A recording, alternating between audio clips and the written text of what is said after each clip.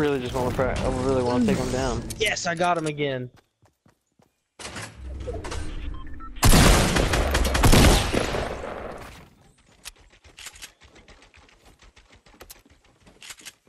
Whenever you kill someone, you get more fucking health back.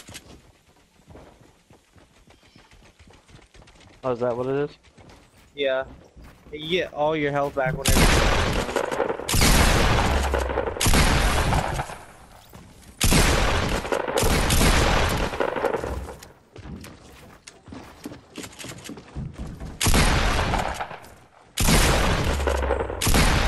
He doesn't do like a shit ton of damage like you'd expect him to, but like every time you kill someone, you get your full health and shield back. And throwing Thanos, so it's dope.